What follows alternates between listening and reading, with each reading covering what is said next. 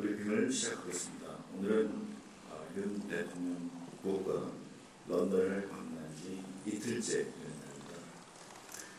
어제 저녁에 있었던 공포 만찬 간담회는 오늘 국빈 방문 공식 일정에 관한 브리핑을 아, 드리겠습니다. 먼저 12월 20일 늦은 오후 런던에 도착한 윤 대통령 부부는 첫 일정으로 동포 만찬 간담회를 가졌습니다.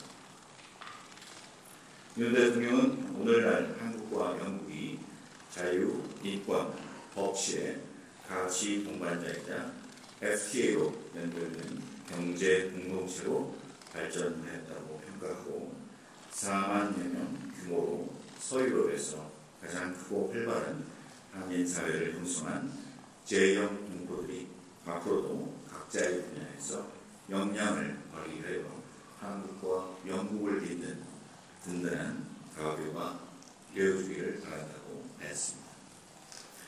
오늘부터는 영국 측이 준비한 국빈 일정이 시작되어 매우 분주한 하루를 보낼 예정입니다. 오늘 정오경 폴스가스 광장에서 개최될 공식 환영사를 필두로 버킹엄 궁에서 국왕 주최 환영 오찬이 개최됩니다. 윤 대통령 부부는 숙소까지 마중하러 온 윌리엄 왕세자 부부와 환담한 뒤 자동차를 나눠 타고 공식 환영식장에 도착합니다.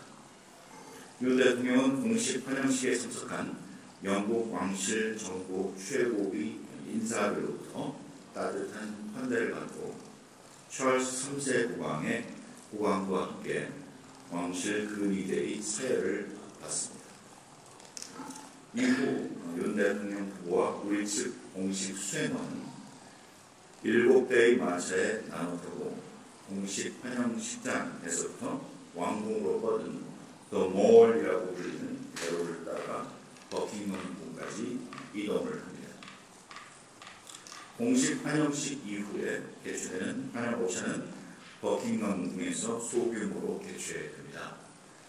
오찬 이후 윤 대통령은 찰스 국왕과 훈장을 그리고 선물을 교환하고 픽처 갤러리에서 한국 관련 소장품을 살펴볼 예정입니다.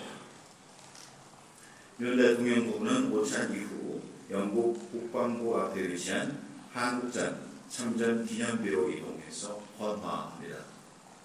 윤 대통령 부부에 이어 글로스터 공작이 왕실 대표로 헌화합니다. 글로스터 공작은 한국전에 참전한 글로스터 연대가 소속된 지역의 자비를 갖고 있는 부로 왕실을 대표하여 한국전 관련 행사에 꾸준히 참석해 오고 있습니다. 이어서 윤 대통령 부는 웨스트민스터 사원에 있는 무명 용사의 묘에도 헌화합니다. 자유와 민주주의를 위해 이름 없이 목숨을 바친 분들의 명복을 빌고 한국전 참전 용사분들을 만나 자유를 수호하기 위해 함께 싸운 그들의 숭고한 정신에 감사의 마음을 표할 예정입니다. 다음은 윤 대, 윤석열 대통령의 영국 의회 연설 내용에 관한 해설입니다.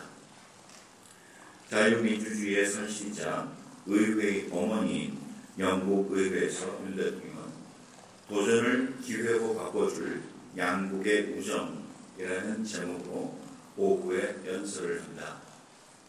연설 제목은 영국의 대문호 셰익스피어의 희곡 로미오와 줄리엣의 한 구절을 응용하여 인용한 것입니다. 윤 대통령의 의회 연설은 우리의 우정이 행복을 불러오고 우리가 마주한 도전을 기회로 바꾸어 주리라 라는 표현으로 마무리되고 이 끝부분을 따서 연설 제목을 붙였습니다. 의회 연설에서 윤 대통령은 영국이 자유민주주의의 자유민주주의와 시장경제 질서를 태동시키고 이를 전 세계에 전파하여 인류의 자유와 인권의 신장, 비약적인 성장과 번영에 지대한 영향을 미친 점, 그리고 그런 영국의 중심에 항상 의회가 있었음을 언급하며 연설을 시작하였습니다. 이후 윤 대통령은 한영 관계의 과거, 현재, 미래의 모습을 압축적으로 설명했습니다. 먼저 과거입니다. 양국이 1883년 수호 통상 조약을 체결한 이래 영국인 존 로스, 프랭크 스코필드와 같은 선교사들은 한국의 어려운 이들을 보살피는데 헌신하였고 어니스트 베델 기자는 대한매일신보를 창간하여 한국의 독립운동에 기여했습니다.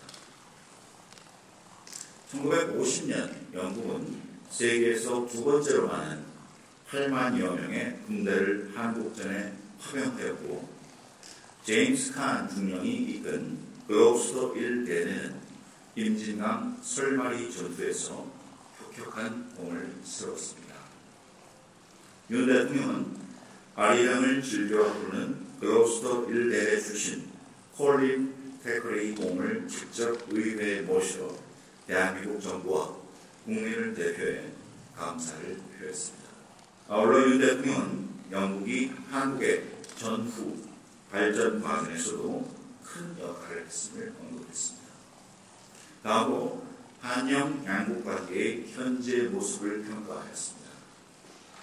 윤 대통령은 이러한 영국인들의 희생과 기여에 힘입어 대한민국이 오늘날의 자유와 번영을 부각하게 되었다고 평가하였습니다.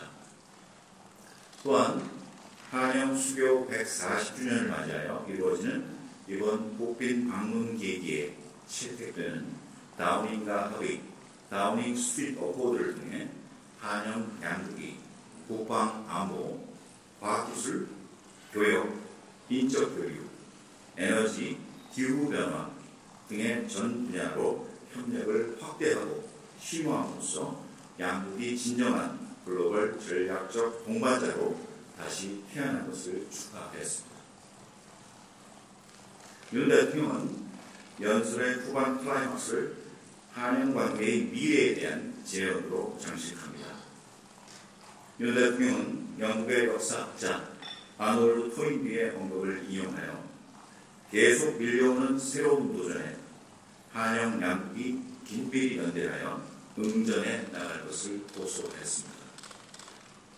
또한 우크라이나 전쟁, 중동 정세, 북한 핵 위협과 같은 지정학적 리스크 그리고 공급망과 에너지 안보 위기와 같은 지정학적 리스크, 기후 위기, 디지털 격차와 같은 글로벌 현안에 대하여 한영 양국이 협력해서 공동 대응에 나가자고 했습니다.